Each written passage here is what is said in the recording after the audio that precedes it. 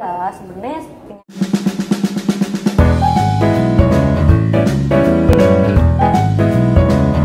normal sih gitu. Biasanya ini dialamin sama uh, anak-anak. Nah aku juga sebenarnya waktu masih kecil tuh udah sakit-sakitan karena amandel tapi aku diemin gitu. Terus uh, udah makin hari makin tahun makin berasa sakitnya gitu. Terus sakit tenggorokan mulu panas gitu. Jadi akhirnya harus diangkat baru kali ini gitu. Harusnya dari kecil. Cuma aku takut takut takut. Ternyata kata dokter memang lebih menyakitkan pada saat kita udah besar. Hmm. karena akarnya lebih bah, lebih banyak gitu. Jadi pada saat kecil tuh harusnya ya dibiarin aja. Hmm. ya panas panas panas tinggi banget sampai 39 terus sakit tenggorokan sakit nelen gitu kan. Terus pas waktu pas operasi juga nggak bisa ngomong sama sekali gitu. Karena emang udah gede banget Iya, parno banget, parno banget pastilah karena kan lagi begini juga gitu kan. Aku sih takutnya bukan karena apa-apa, aku takut ngelarin juga ke orang lain yang di deket aku gitu. Jadi pada saat itu ya aku nggak ke rumah sakit, aku juga telepon dokter, home visit, terus cek ternyata negatif. Udah akhirnya aku kewajiban untuk uh, melakukan tindakan operasi ternyata memang si uh, tonsil sendiri memang berpengaruh besar sama yang namanya uh, apa namanya uh, penghabatan bakteri gitu. Jadi pada saat itu memang sudah tidak berfungsi gitu jadi itu juga menyimpan bakteri virus segala macam. Gitu jadi memang harus diangkat. Nah uh, pada saat aku diangkat ya memang uh, apa alergi aku tuh jadi berkurang gitu. Memang masih ada kayak sesekali gitu cuma udah jauh dari yang namanya setiap hari punya alergi gitu. Nyanyinya terus kayak aku lebih plong aja gitu terus lebih santai aja. Cuma memang uh, adaptasi sih. Hmm. ngeganggu ngeganggu jadi aku kadang-kadang suka ke dokter terus suntik steroid untuk uh, ngebenerin apa namanya tenggorokan pita suaraku padahal itu sebenarnya nggak bagus untuk tulang. Hmm. gitu. Jadi uh, udah langkah emang langkah paling baik emang operasi walaupun memang sakit banget.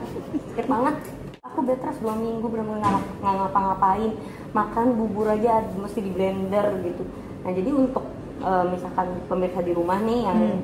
punya anak uh, misalkan umur umurnya di, di atas 8 tahun yang memang sering sakit amandel lebih baik dari anak kecil nih dari kecil-kecil udah dioperasi daripada nanti udah gede bisa sakit lagi.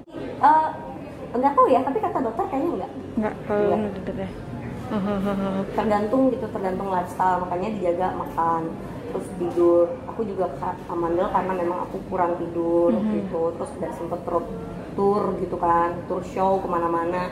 Dan emang lifestyle aku jadi nggak bagus gitu. Nggak sehat lah. Mm -hmm. aku dan Jordi kita sama-sama single.